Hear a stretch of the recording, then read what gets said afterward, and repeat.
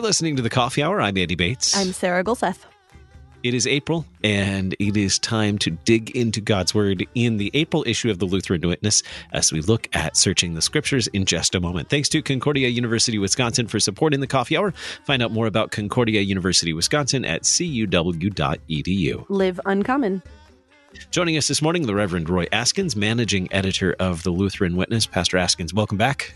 Thank you. Good to be back again. It is good to get to study God's Word with you. This month, we are in Searching the Scriptures, page, I believe, page 28 in the April issue. Should be in your mailbox by now, hopefully. Yeah, uh, yeah. Look so- for a, a wonderful stained glass with some random dude's hand. He's not random at all once you look at the inside cover.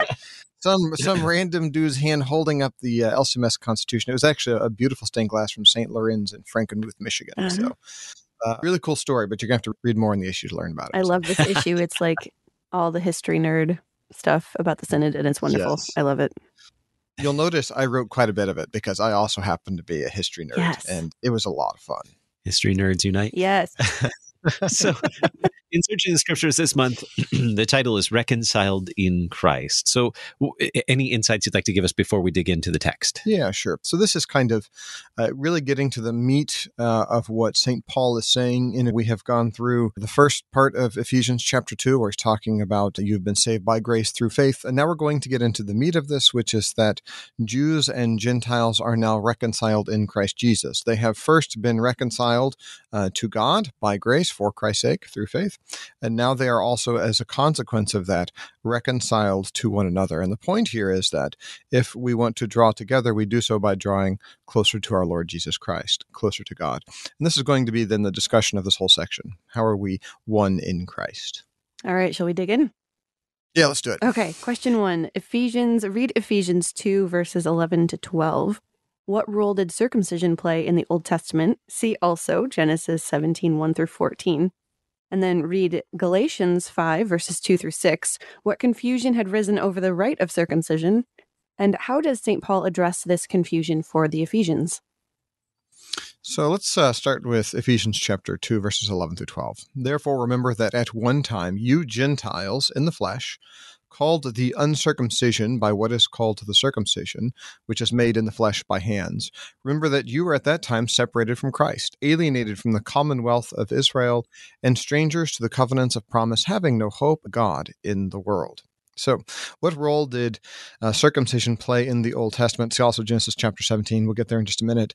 Uh, circumcision was that which marked a distinction between the Jew and the Gentile. As St. Paul mentions, the Jews called Gentiles the uncircumcised. And the consequence of this is it was uh, by lack of this mark, by not having this mark, it, it pointed out that the Gentiles were, as St. Paul says, separated from Christ, alienated from the commonwealth of Israel. In other words, aliens to it. They did not belong to it. They were strangers to the covenants of promise. And the consequence of all these things, the consequence of not having this mark of belonging, of not being part of the people of God, is that they were with uh, having no hope and without God. This is their circumstance. And this kind of actually brings us all the way back, in some sense, to the beginning of Ephesians 2, too, right? As for you, you were dead in your trespasses and sins. So the rite of circumcision at this time, in particular in Ephesians, when St. Paul's reading, reading writing to the Ephesians, this was marking the Gentiles as I shouldn't say uh, the, prior to this, prior to Christ's coming, it marked the Gentiles as those who did not belong to the promise. Now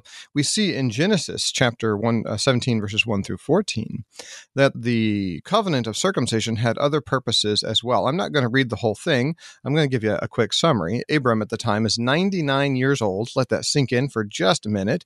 Abram is 99 years old, and God comes to him and says, I'm going to make a covenant with you.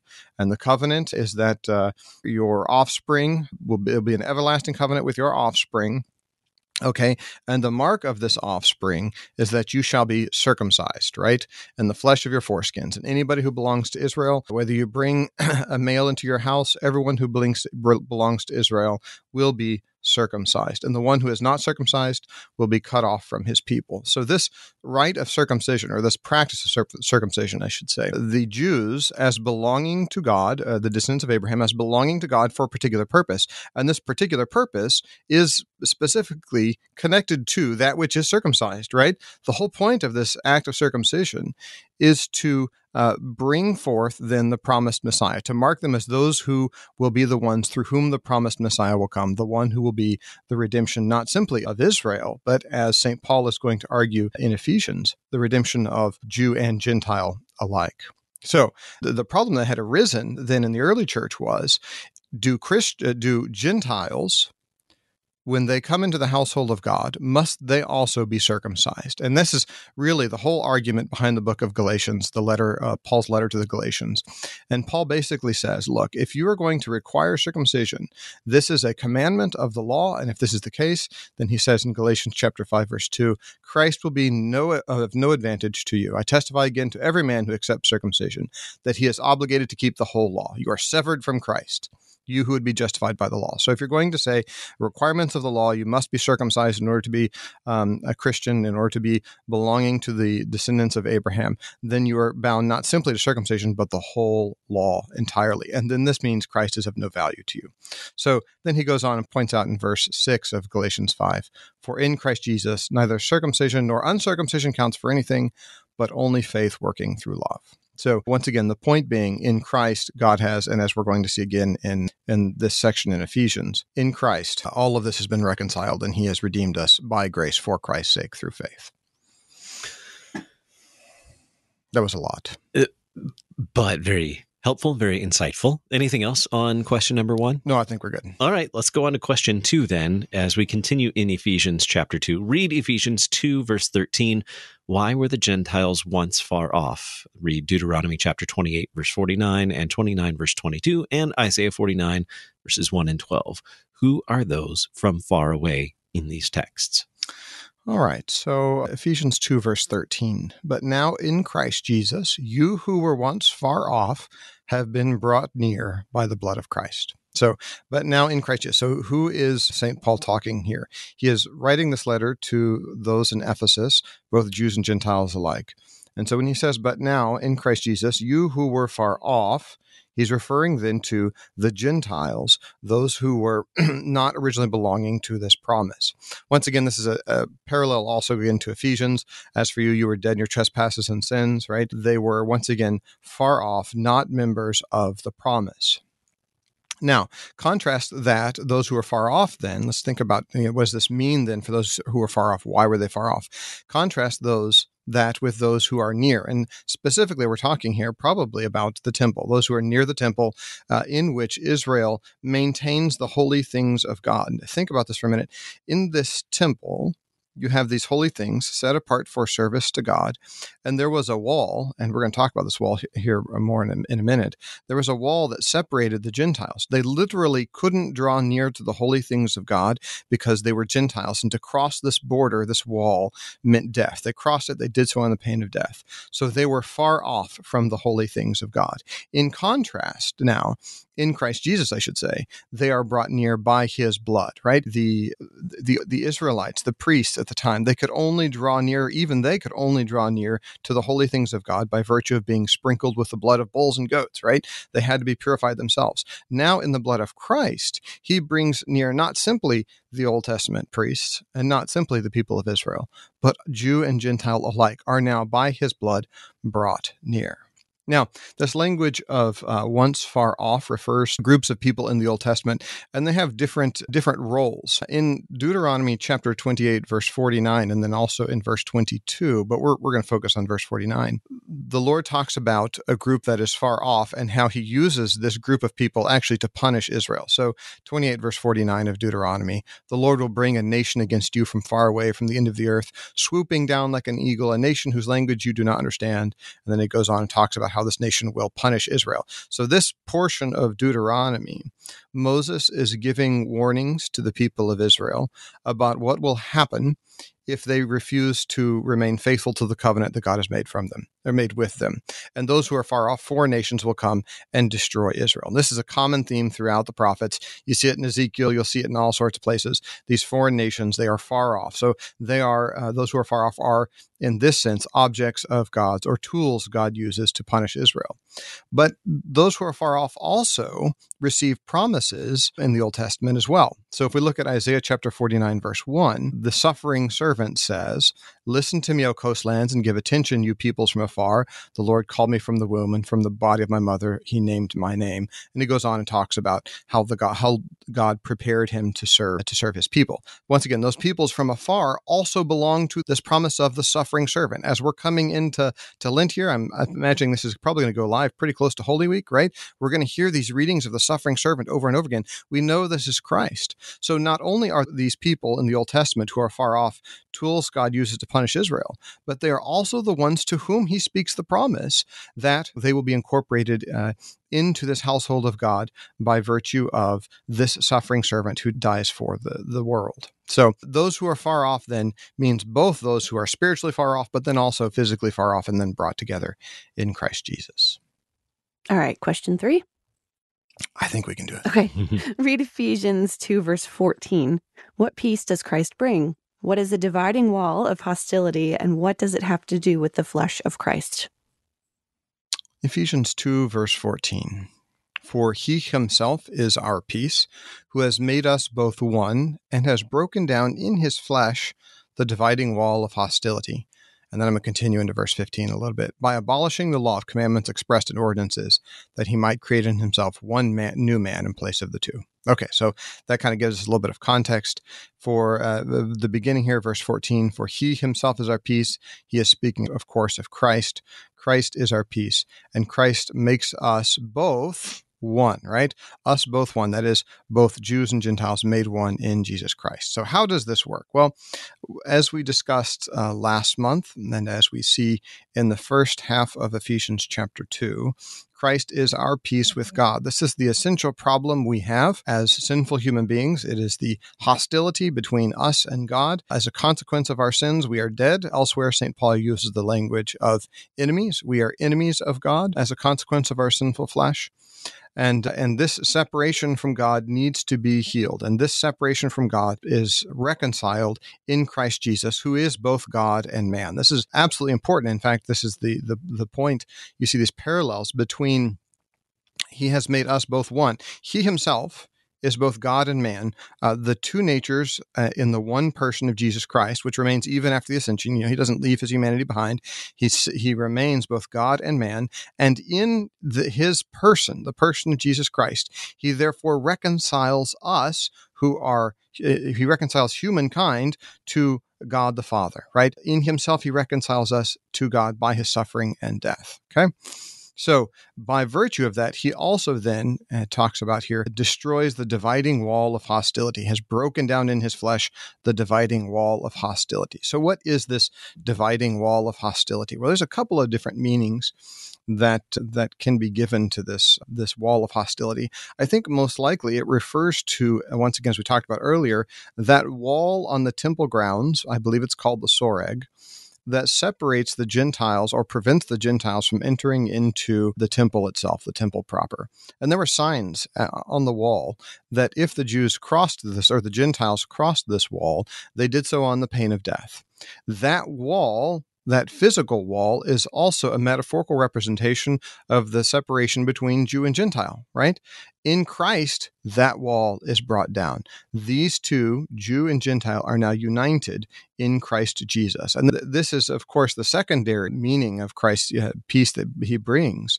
But it's also, and I think here St. Paul's primary point as he's dealing with this division between the struggle between Jews and Gentiles in, in Ephesus, this is the primary point he's making here. You two now belong together, Jew and Gentile alike, belong together in Christ, in the body of Christ, in the church. So you are no longer separated but brought together. We are searching the scriptures with the Reverend Roy Askins, managing editor of the Lutheran Witness. We're in the April issue of the Lutheran Witness. We'll continue the conversation in just a moment, right here on the Coffee Hour. I'm Andy Bates. I'm Sarah Gulseth.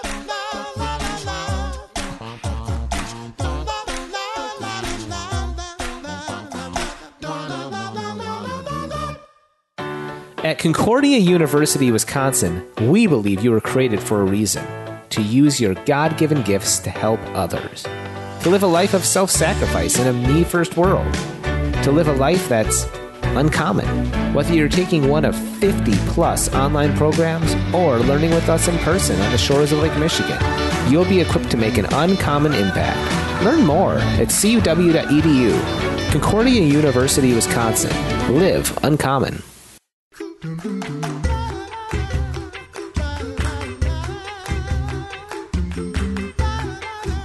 Welcome back to the Coffee Hour. I'm Andy Bates. I'm Sarah Gulseth.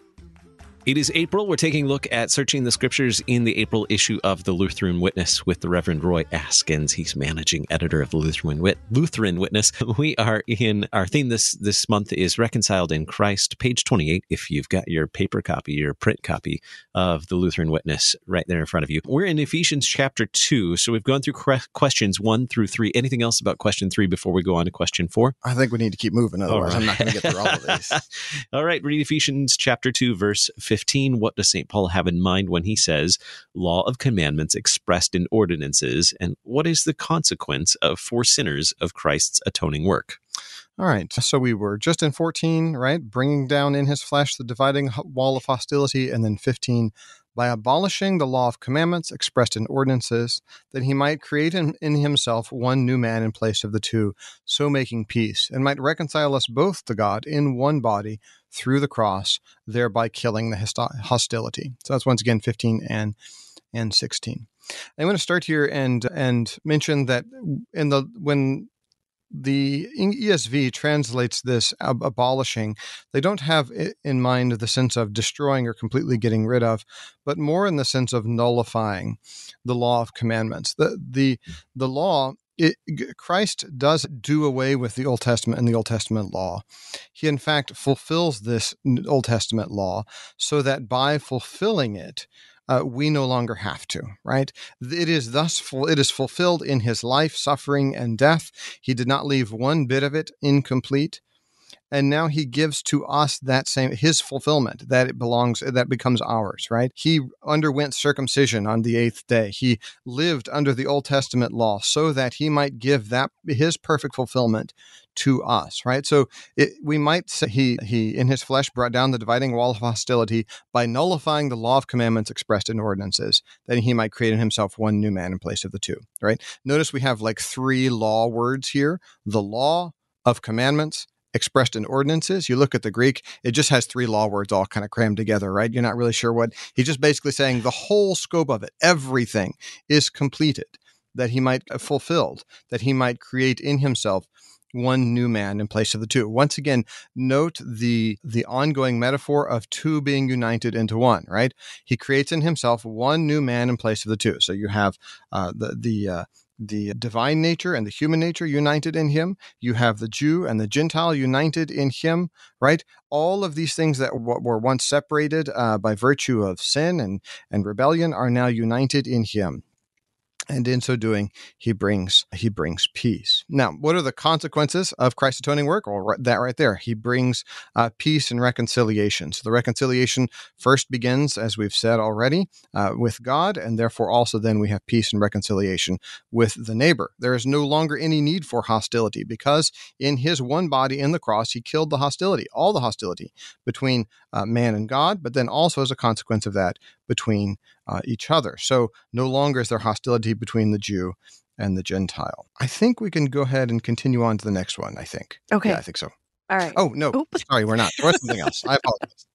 Okay. uh, the point here also that we need to make is this unity only comes in and through Jesus Christ. I hinted at this at the beginning. We do not create unity by drawing closer to one another. Unity happens actually as we draw closer to God by creed and confession. As we draw closer to God, uh, as all Christians draw closer to God by creed and confession, we will also then naturally draw closer to one another.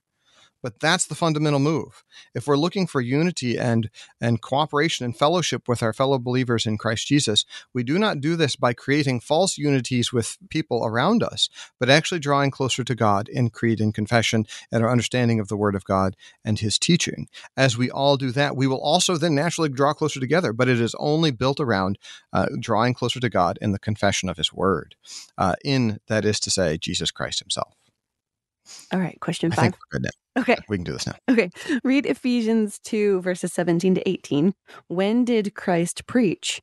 How can St. Paul tell the Ephesians that Christ preached peace to those who were near and to those who were far off? In verse 18, St. Paul says, We both. To whom is he referring? Ephesians chapter 2, 17 and 18. And he came and preached peace to you who are far off and peace to those who are near. For through him we both have access in one spirit to the Father. Okay, so who, when did Christ preach? Well, this is uh, an easy one. We actually have Christ preaching in two circumstances during his earthly ministry, and then even after his resurrection, we have Christ physically preaching. So, you know, all throughout his earthly ministry, he's preaching. Luke chapter 4, Jesus goes to Nazareth. What does he do? He reads from the scroll in the synagogue, and then he sits down to teach. I actually kind of like that. I think we should bring that back. Pastors should sit down to teach. That's how they used to do it back in the good old days. But, anyways, he sits down to teach, right? Matthew chapter 4. Uh, Jesus goes throughout all of Galilee, teaching in their synagogue. So, throughout his earthly ministry, he's constantly preaching, preaching and teaching. He also preaches after his resurrection as well. He does this in Mark chapter 16, verses 14 to 18. He preaches to the disciples. He also preaches to them in Acts chapter 1. So, we see him continuing this preaching. But then, and this is how he can say that Christ, uh, St. Paul can say that Christ preached the Ephesians, he then sends out his apostles of which Paul is one, to preach his word. And the preaching of the apostles, as he tells them, is his own preaching. That is the preaching of Jesus Christ that is to reject the apostles is also to reject Christ. That would be the opposite corollary.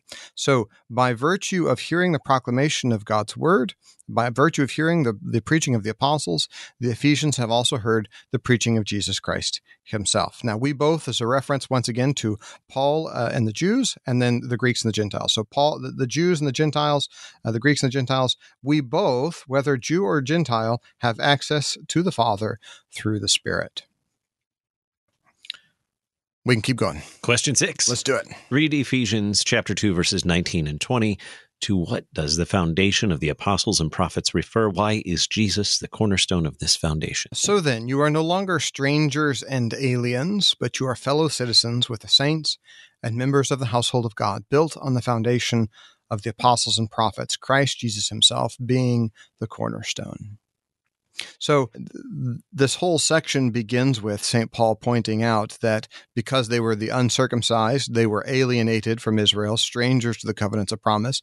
Well, he's bringing that back around now and saying, You are no longer strangers and aliens, but you are fellow citizens of the household of God, fellow citizens with the Jews of the household of God. And how where does this take place? Well, this takes place as it is built on the foundation of the apostles and prophets. Now, apostles and prophets is a reference to the Old and New Testaments. Uh, St. Paul is writing probably in the late 50s, AD 59 to 61 or so. He's writing this letter to the Ephesians.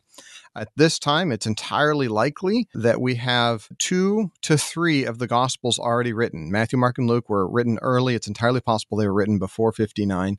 And so it's entirely possible that they already have these documents in hand. And so as he's talking about this, the apostles and the prophets, he's saying, you have the scriptures, right? The preaching of the Old, or the prophets of the Old Testament, the apostles of the New Testament. These scriptures, this word of God, is the foundation of the house. And of this word of God, Jesus Christ is the cornerstone. So he is the cornerstone in the sense that both Old and New Testament uh, point to him and to his work that he has done for the world.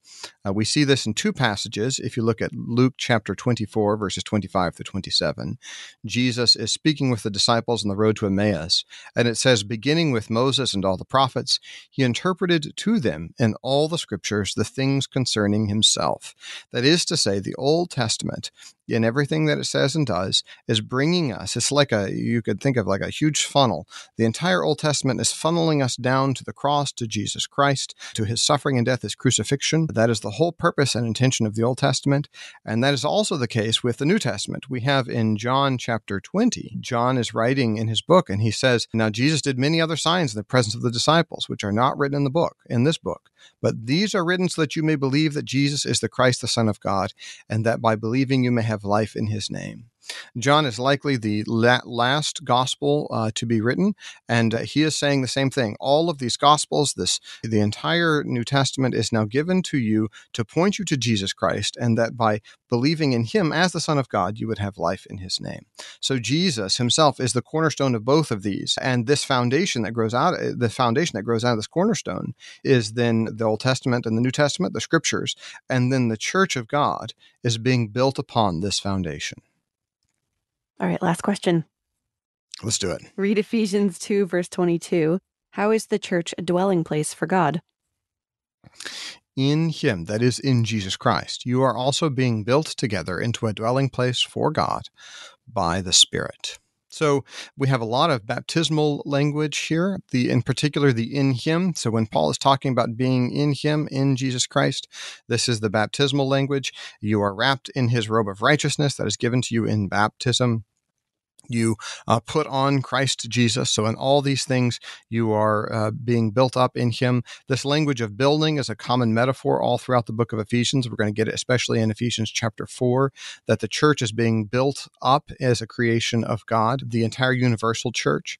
And the point here is not necessarily numerical growth, but rather being built uh, by the Spirit through the means of the Word of God, growing up into the head who is Christ Jesus. And this is the point that he's going to make in Ephesians chapter 4, verse uh, 15.